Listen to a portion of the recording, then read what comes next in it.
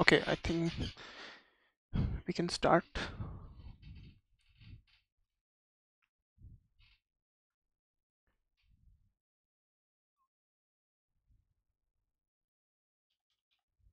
Okay.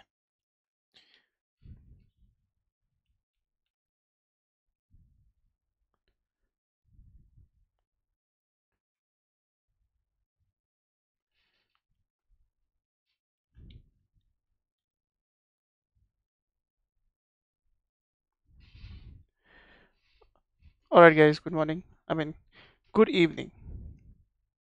Yeah, today is a little delay. We have we had little delay because I was also attending some uh, CCNA session from Curtin University, and uh, so that took some time. So I presenting I'm presenting this session here at this time. Anyway, good evening, Sanju. Right. So we are going to talk about module 4. So before I start, I'll just tell you what are the things you have in module 4. Again, you have five chapters. So in this, basically in this module, you're studying a little different from what you have studied before. You're going to discuss about, you're going to learn about internet security. Okay, what we have seen previously was network security, how we provide security in a network. Uh, end to end to end, we can do some cryptographic algorithms, and from uh, server to client, we can have this key distribution centers and what are those certification authorities, all those network security terms we were discussing. But here in this chapter, it's in this module, you're going to learn something called as internet security. So you have to understand a, there's a very small difference between these two terms network security and internet security. So i will just tell you in brief. First of all let me acknowledge some of the students here. So sanju vishwajit harshita anushka yukta jashish menka harika and anjali welcome. Good evening. Right so this is a slight difference between internet security and network security. So when i say internet security how do you access internet? You use some kind of devices right? And uh, these secure uh, these things which is not secure let's say some kind of uh, malwares they can be entered into your systems through through access of internets. And one more thing guys uh, this is chapter number 19 i think 18 19 so uh, in the in the drive itself where where i have uploaded all these uh, ppts sorry. So all these ppts there there were some chapter number 16 17 and i think 18 which is not included in your syllabus actually. And but they talk about your cell cell phone security and some other uh, vulnerabilities things. Those are not included in your in in this uh, syllabus. So you can skip those this is actually your module number 4 chapter 2 your module number 4 chapter 1 talks about wireless wireless LAN security. That I will cover in the next session. But this is a fairly familiar topic. You have heard about these viruses worms and other malwares. So we'll discuss this. So good evening once again. Adil Kirtana Sparsha Abhishek Harshita. Good evening. Right. So so what are the different chapters you're going to study? Wireless LAN security. Basically uh, some standards. We'll talk about some standards. Today we'll take on virus worms and other mal malwares. Another chapter we have here is devices such as firewalls.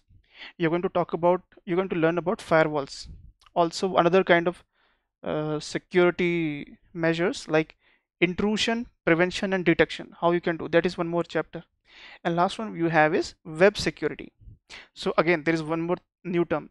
You have internet security network security and now web security. Okay also there is one more called as cell phone security. So these things uh, are almost same but there is there is some slight difference. So you have to know the difference of those. So anyway we'll talk about this viruses now you guys very well know what is viruses what is worms. So and and if i say sorry about that sound. If i say viruses and worms which is more harmful? What you will tell? Which is more harmful? Virus or worm?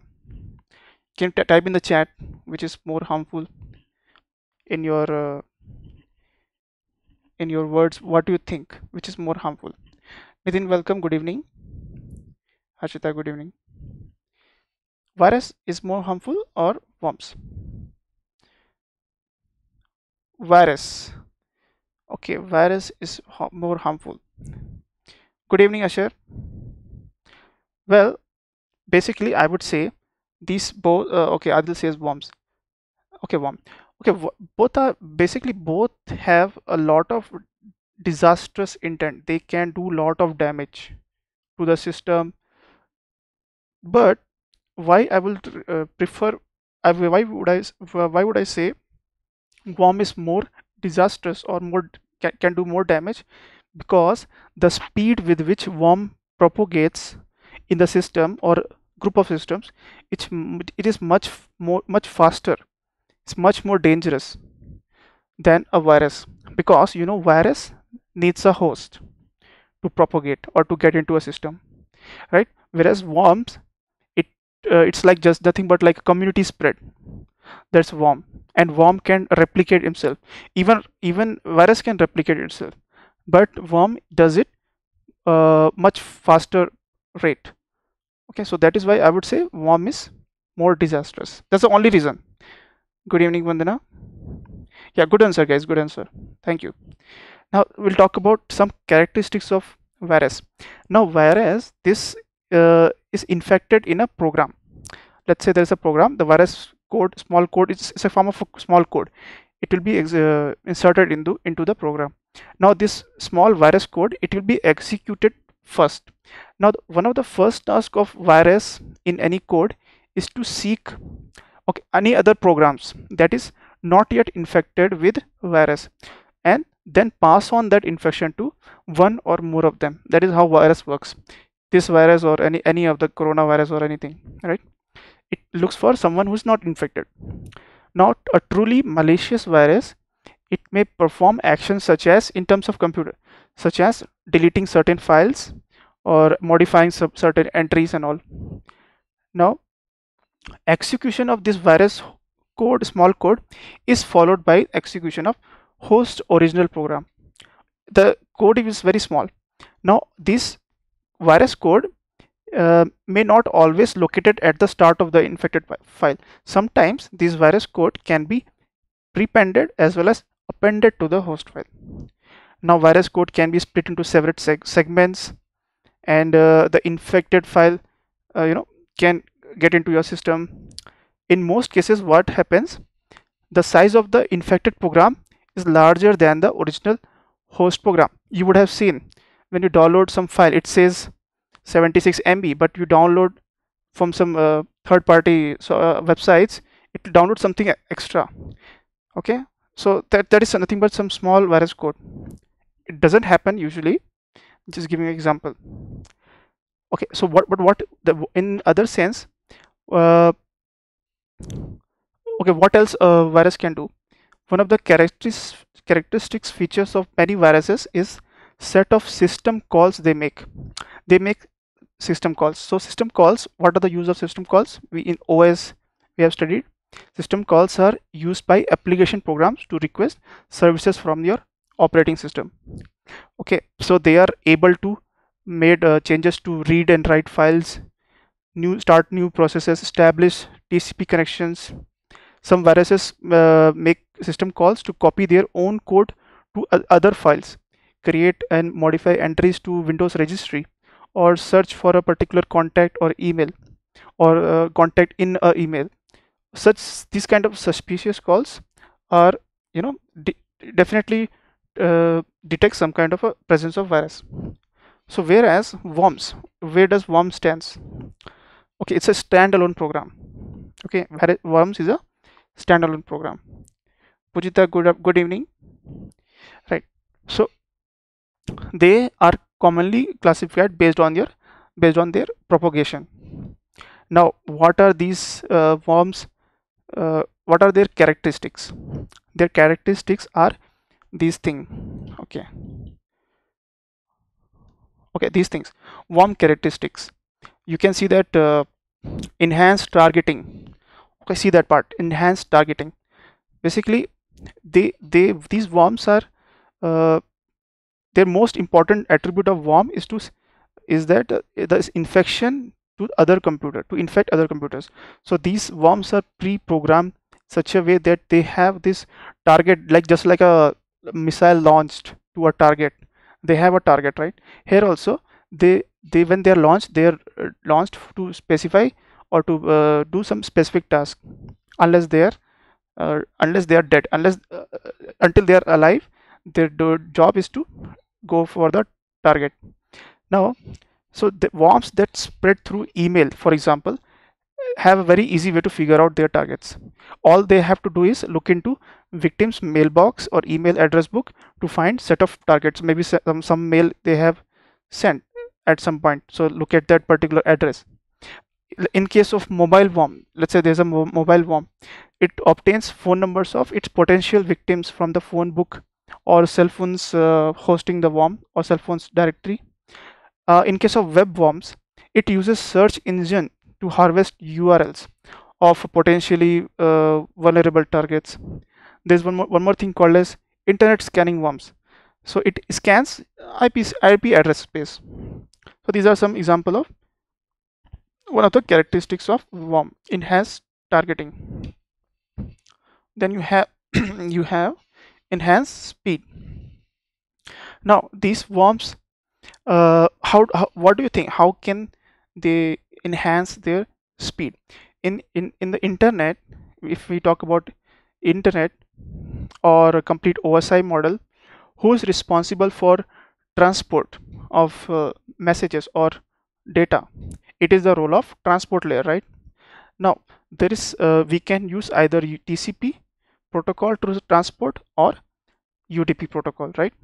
Which is faster obviously UDP so some uh, some of what, what another feature of uh, worms is to you know to immediately change their uh, mode of transport from TCP to to UDP to you know enhance their speed in terms of targeting someone. Udp is connectionless there is uh, no reliability so worms can use this kind of uh, mechanism. And they can also uh, worm, worms can also make use of concept of multiple threading right? So they they replicate themselves. Now they can uh, also reduce infection latency by targeting a buffer overflow. All these things are are there. Okay? So these are nothing but uh, one other characteristics. Enhanced targeting enhanced speed then we have enhanced capabilities. This is the thing I was talking about. Polymorphic metamorphic. So what is the difference between these two terms? So basically uh, most worms have unique unique and very distinct signature. Signature is nothing nothing but in terms of pattern of bits. Usually uh, what language code they have written in which appears all the uh, appears in all the instances of the worm like when i say all instances of worm worms has different instances. When it replicates or duplicates or uh, you know divides it, it other worms can have different signature. Now these worm virus signatures are key to detect them right? Now there is some it involves some also uh, uh, there is some involvement of sophisticated techniques or uh, sophisticated techniques to avoid its detection. Just like if i say coronavirus it is uh, its uh, its pattern its dna pattern or whatever the pattern is to identify what kind of virus is is no, not known. It's a completely new thing right? So it, it's, it's very difficult. Just like that in worms uh, the signature changes okay using some sophisticated techniques. So how will i define a polymorphic worm? A polymorphic worm have to be decrypted before being executed. Okay? This suggests that uh, the uh, decryption routine is not sent in I mean not in clear. So it, it, it is in the uh, encrypted format. It has to be decrypted. Right. So what is what is next one? Enhance destructive power. So uh, let's say they, they have given example of code red nimda witty worm. So what are these? First of all let's talk about this worm. It was launched in uh, 2004 and uh, it was actually uh, some kind of different worm. Here it, it is the first worm to carry a destructive payload. And what it did it deleted a random section of victims hard disk which led to systems crash. It led to system crash. Okay shruti good evening. Ajishwari, good evening. Welcome guys. So just like this we have example about this. Now code red. This code red and nimda basically these are uh, given in case studies. So you can read about it what is happening. I'll, I'll just tell you what happens. Uh, just like we have Apache server we used to have Microsoft IIS web server. I'm talking about web server two web server we have Apache web and IIS so it, this, this was code red was uh, infected in that kind of uh, IIS web server. So it, it did a lot of uh, it infected a lot of uh, uh, let's say millions of IIS servers or computers running these servers. Okay then one more we have was uh, slammer. It is not mentioned here. Okay here it is mentioned. Slammer. Okay that is internet scanning worms we'll, we'll talk about that. So basically what are the worm characteristics? Enhanced targeting speed capabilities and destructive power. And now we go back now question they can ask is explain classes of worms. So classes of worms there are five classes of worms. You have to tell they are internet scanning worms email worms peer-to-peer -peer worms p2p is nothing but peer-to-peer -peer worms web worms and mobile worms. So in uh, there is uh, everything is given actually in detail you look at this internet scanning worms. Now when i say internet scanning worms i think i just told you before when a worm is using internet uh, scanning of the internet is it is looking for some specific thing that is ip addresses okay?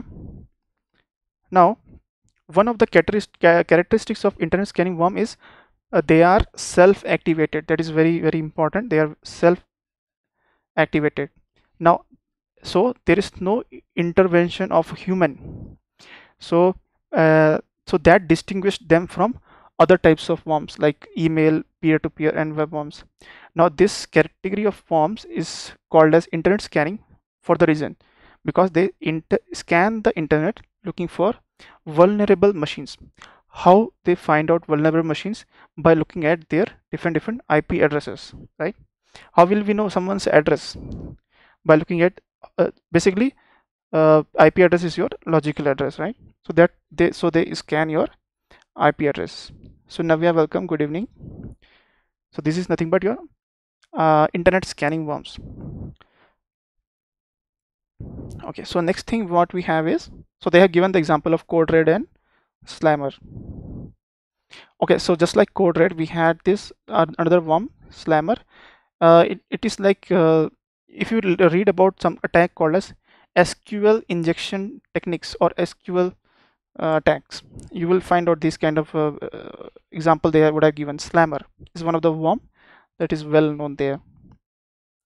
Okay, so okay, another thing they have given is uh, worm propagation models. Basically, they will not ask you this worm propagation model because uh, this is just like just like a case study a comparison of uh, uh, human to this system. So basically if i say if i talk about simple epidemic model okay this is very uh, well known now. You will be very able to, you will be able to understand this. So simple epidemic model is used to study spread of infectious disease among humans in uh, that is your that is your appropriate starting point. That right what we have having now. So this model uh, basically this model assumes that there are only two people of the entities in the population. So either an individual is sus success, uh, is suspicious or he's is infected. Uh, just assume in that way. So that infected individual can infect a another person another suspicious person. Now once infected the person remains infected or does not recover so basically for that they have given us whole uh, derivation whole model of that. And basically and and that is also used to uh, calculate the the future how of this per one particular uh, of one particular country or one particular region how it's going to you know uh, uh, what is going to happen to the growth of the infection in the upcoming years and all those. That is a, that that is part of some kind of advanced uh, calculus this thing. Okay so this this is one simple epidemic model. You you are not don't be bothered about this this may, may not be asked to you. But i'll just tell you in brief one more thing. Kermack and McKendrick model. So this is one more model. Now this model uh, you know is more accurate and it uh, let's just just like a spread of a human infectious disease it it uh, it tries to make uh, accuracy of that considering three categories of people. In simple ep epidemic we had two people only. One is infected one is you know suspicious that he can be caught with that virus. Now there uh, let's say they, those who are suspicious they will call it call it as state s. Those who are infectious let we'll call them as i and those who are neither though those are the individuals who are cured or those who have succumbed to that disease. Okay. So initially all the individuals in the population are suspicious means they all can be uh, caught with the virus. Suspicious means vulnerable. Okay. Imagine in that way. So there's a complete model they have given. Right okay so uh, what we saw first characteristics first cat category of worm was internet scanning worms. Okay next thing you have is email worms also called as topological worms. What are they uh, specialized into? Focus targets and spreading of these worms is faster. So you can tell it spreads from infected from your uh, sorry propagates through your infected email. So you can tell uh, it scans all the address book in your email and sends uh, or retrieves a copy of uh, addresses of all the contacts and you know scan all the complete email and uh, and locates the target and affect that individual or individual machine. So example they have given is Sobig Sobig is nothing but one of the uh, name of worm that was uh, example of email worm now uh, it can carry different types of uh, you know images uh, different kind of data. Can be of any data. So another kind of worm we have is p2p worm it's nothing but peer-to-peer -peer worm so what sorry about that sorry. So what is p2p worm peer-to-peer. Now you know what is client server architecture you know what is peer-to-peer -peer architecture. Now which is more which is better in your views? What what would you uh, prefer? Which model is best? Or in terms of uh, security and control i'm giving you the scenario also in what measures you are uh, telling which is better. In terms of security and control client server model or peer-to-peer -peer model. So you can you can type in the chat which one do you think is better in terms of security and control or overall management? So anyone has an answer of this question? Right so let it be. Client server yes good. Why? Because a server there's a is a manager is a controller. It can serve different different various clients. There is a control there is a management there is a security in that. Whereas in peer-to-peer -peer, what happens? Data may not be available to the next peer. Instead he will be communicating to next his uh, subsequent peer or his subsequent peer and so on. So basically the client another client another peer let's call it as peer he may not be having data but unnecessarily the it is uh, he is being asked about whether he's having that data or not. So there is no control there is no security there's a leakage of or vulnerable thing where this can be attacked. This is this this can be you know uh, not suited for security and management. Okay? So that's the reason. And peer-to-peer -peer worms. So it, it's a it's a network massively distributed system computers of computers where each peer or node plays a role of both yeah and one more thing. Both uh, in each and every peer can act as both client and server. It can act as client for another server or server for another client. So you have the example of a very good example of torrents. How do you download movies and so on go songs you know that is a kind of a piracy. So these are uh, used for principally uh, they are used for sharing files uh, which can contain songs image videos and extra uh, uh, other things. So each peer maintains within itself a shared folder of files in the network that is willing to share it with others. Uh, since there is no security one peer will tell I will I have the data I'll share it to you. But before sharing the data he will add some kind of a worm and he will send the data to him.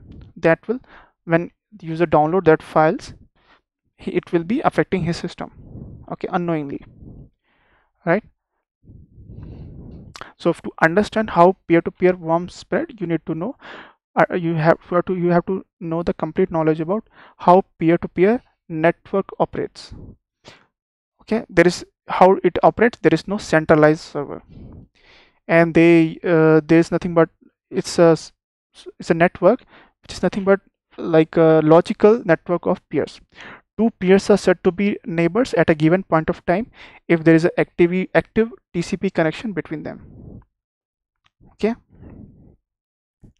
So that is your peer-to-peer -peer worms yeah and there is that is scalable. Now what do you understand by term scalable or scalability? We have we talk about the, all these things scalability fault tolerance quality of service and uh, security. What are these four pillars of network? What does it mean? So fault fault tol if i talk about fault tolerance it's nothing but uh, having a redundant disk for the data.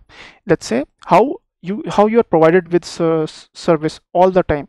Because every time server makes a backup to secondary server. If one server fails secondary server will serve your data. That is redundancy or nothing but fault tolerance. Whereas scalability uh, let's say we have a network of 100 users or 100 peers. In this case we have 100 peers peer network right? 100 peers. They're operating with each other. So if if another 200 peers or 20 peers are added to the network it will not affect operation of previous 100 peers. So that is nothing but scalable. It can scale up right? More users are added it will not result in depletion of bandwidth to anyone okay? That's that's how it is. Quality of service and security security security is nothing but about your uh, securing the like we don't want any unauthorized person to access our system. That is security. Quality service. What is quality of service? Basically we have how much what what are different types of data that we transmit over a network? It's voice it's video or simple data simple text or simple data. So who has most more importance or preference? Uh, opening a website or uh, doing a voice over IP call. Obviously, a voice over IP call or video or a video conferencing has a higher preference than simple access of web page or data. So that will given give, give will, that will be given more importance. That is quality of service. Okay, and those things are clear, right? Next thing is uh, okay, peer-to-peer -peer is done now we have is web worms web was web worms is associated with here case study. They have given a case study as xss worm. So you read about that. So how these web worms are different? They differ from mal malware such as internet scan internet scanning worms in several ways ways.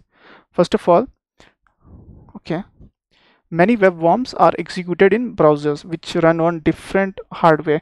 Now we have software browser nothing but uh, browser nothing but uh, you, you can use it in your laptop computer server mobile phone different different platforms. Now web worms are written in high level language like what other language you use to interact with web? And uh, you have languages like angular javascript and so on. Now one more thing. Do you guys understand the difference between what is internet and what is web okay you should know difference between web and internet. Internet is nothing but uh, where all the data is stored or where from where all the data can be accessed from or read from. But how do you access that data? You make use of web pages. That is nothing but your web.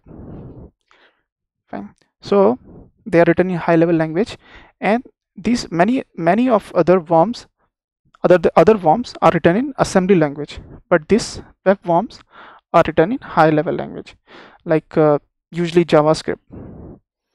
So it it uh, it can when you uh, it can be okay what else? Why companies or why organization tell you to use only google chrome or uh, opera or something like uh, mozilla firefox? They will not uh, tell you to install different random browsers because they have some vulnerability to uh, you know download some malicious code into your system. That's one reason. Okay another category of worms we have is mobile worms. Okay this is very simple one mobile worms or deals with cell phone security. Now this is most prevalent because new generation they are using smartphones. So smartphones has combined functionality of all or, or simple cell phone or or a low end pc right? So they so they may be used for storing confidential documents communicating via email sms and taking photographs. They are feature rich applications that run on a complete operating system. Now most common operating system uh, if you if you remember before android before android we had something called as uh, nokia was very famous if you remember. Nokia was really really famous before android came into picture. Back in 2010 2008 and do you remember what kind of operating system these uh, these uh, nokia phones used to operate with? Can anyone tell in the chat if you remember? What kind of operating system was used in these those phones during that times okay you can tell iphone was used uh, was launched during that times. iphone they were running completely different operating system. But what about this nokia? Any any idea? What kind of operating system they were using? No idea? Okay i'll tell you. So they were using op operating system such as which is called as symbian operating system. Symbian operating system but later on it was found it is lot of vulnerabilities are there in that operating system. So immediately we move to windows mobile or line uh, you know windows mobile and immediately after that android. Because uh, okay one more thing here. We are talking about bluetooth. Now uh, another kind of malware which can be transmitted to your mobile is through your bluetooth. So bluetooth is your both bo both a communication technology and a protocol stack.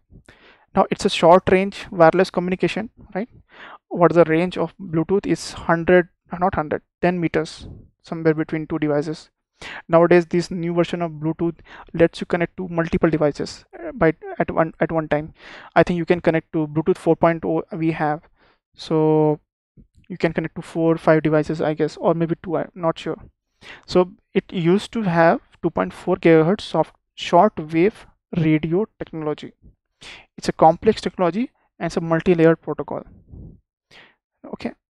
So what can happen? How how uh, worm can propagate to your system through your bluetooth app? Because sometimes bluetooth requires something a procedure called as pairing where key is computed between two participating devices. Now this pairing was not used to used to be there before. So sometimes you will keep your bluetooth device open. Some some users will be looking for you know open bluetooth active devices and they will send some data just like that. Uh, okay all those things are there. You have this uh, example of uh, some mobile phones which are which you can operate you know you can you operate uh, air conditioners with using your mobile mobile phones okay using some kind of bluetooth technology I, I guess right? So so basically this has improved over the years but it was known to have a lot of vulnerabilities right? So the last topic actually is your botnets so what do you understand by botnets? Botnet is nothing but uh, like let's say army of computers or army of bots connected to internet uh, remotely. And who, it, who controls all these things? It is connect uh, controlled by some person or you can call it a bot master. Now if i use one bot to you know attack a particular target i will call it as dos attack denial of service attack. I'll keep sending using one computer. I'll keep sending request over and over again so that server responds to me only and it will not serve the genuine clients original clients and i will consume all the and uh, you know computing power uh, resources and I will deplete all the resources from the server. And if I use not one computer but 100 computers 100 bots to do the same task. That is called a distributed denial of service. Okay that that is much faster to attack and it's much serious. Now so this this is nothing but this is achieved by something called as botnets. Now they, there they have given uh, it can comprise of tens of thousands or even millions of bots. Yes nothing but this, it is one bot is nothing but one computer. One computer can have programs which can further divide you know in a hierarchy it can keep dividing itself uh, to form multiple bots. Okay it can uh, what is, what is the term? It can divide and multiply right? So so this is this is a very serious botnet thing. It so what it can contains is some kind of a log key loggers and other forms of spyware. These keystroke uh, keystroke loggers key loggers uh, are nothing but some kind of a malwares uh, which you know put which is which is put in under the category of spywares basically the purpose itself is to spy the passwords from the users okay so early botnets were used as some IRC servers and CNC servers. CNC servers is nothing but command and control server. Okay, IRC is nothing but internet relay chat. It is used for uh, file sharing in open or sending multicast messages. Okay, all these things, and obviously the role or the purpose was is to spread infection to different different uh, targets. Even you can you know these bots can perform all the malware uh, tasks like to to start a uh, you know to make a attack which is of which can consist of virus worm or even trojan. You know what is a trojan right? Trojan horse or trojan? It uh, appears to be a genuine software but uh, in, instead it is a harm it's a harmful software. It's a harmful software. We call it as malware. It, it will show you uh, like it is working as a genuine thing but it is not. So there is a role of botnets. It can do all these things. So, so for a case study they have given storm botnet. So read about this, this case studies. And this chapter is totally about these viruses bombs and later we have other malware such as botnet. So usually what question comes in this chapter is i'll tell you. So this is very very important. The question main question 10 marks question they ask is what is you know differentiate between worms and viruses for two marks. And what are the characteristics of worm? Characteristics of worm is this uh, enhance targeting enhanced speed enhanced capability destructive power and explain the different categories of worms. Five categories of worms are there. That's the question actually. There's a one question in the complete chapter. And they might ask you about two marks four marks about what is a botnets. But they, they will only ask about this what are the uh, categories of worms? So that's all about this chapter actually. So we'll discuss uh, in the next session about firewalls. Why we have firewalls. So that's all from my side. Thank you guys. And make sure you put, hit a like on this video. If you feel this is you you have understood understood something. So make sure you hit the like leave a like. And also for any notification you can click on subscribe. Whenever i'm live you can know. So that's all from my side guys. And uh, please fill the form. I'll just send you right away. Uh, make sure you fill it very soon. Okay? And that's all from my side. Thank you. Thank you all.